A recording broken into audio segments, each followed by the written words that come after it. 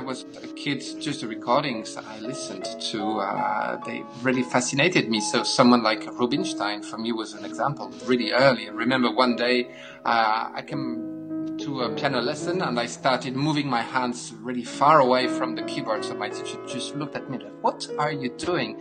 I just, yeah, but you know, the, I saw a video of Rubinstein playing like this, and it was very, it was very sweet.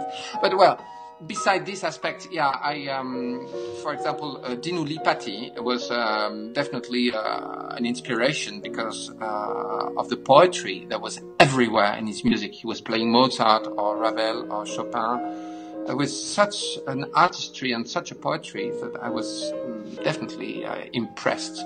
And more recently, I was I really admire Emil Gilels, so the Russian pianist, for the beauty of his uh, sound. And uh, the sound is really in the middle of my work. It's really something I, I really care about, and the beauty of his sound is something that's uh, rarely, rarely uh, heard.